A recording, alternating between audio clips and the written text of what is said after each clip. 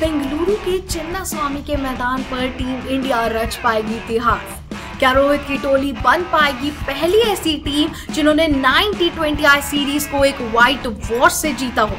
जी हाँ इंडिया और अफ़गानिस्तान के बीच तीन मैच की टी ट्वेंटी आई सीरीज़ खेली जा रही है, जिसका तीसरा मुकाबला आज चिन्ना स्वामी के मैदान पर खेला जाएगा और आज यहाँ 90 परसेंट चांस है कि टीम इंडिया एक इतिहास रच दे। एक इतिहास जी हाँ टीम इंडिया ऐसी पहली टीम बन जाएगी जिन्होंने 90 ट्वेंटी सीरीज़ एक व्हाइट वॉश से जीते हों।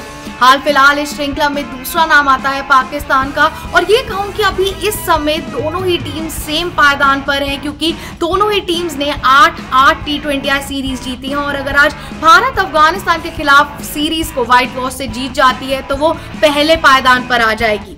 पहले दोनों ही टी ट्वेंटी में, यानी कि मोहाली में और इंदौर में भारत ने अफ़गानिस्तान को सिक्स विकेट से मात दी थी। और अगर भारत आज एक और ये करिश्मा कर देता है, यानी कि अफ़गानिस्तान को हरा देता है तो वो पहले पायदान पर आ जाएगा और इतिहास रच देगा।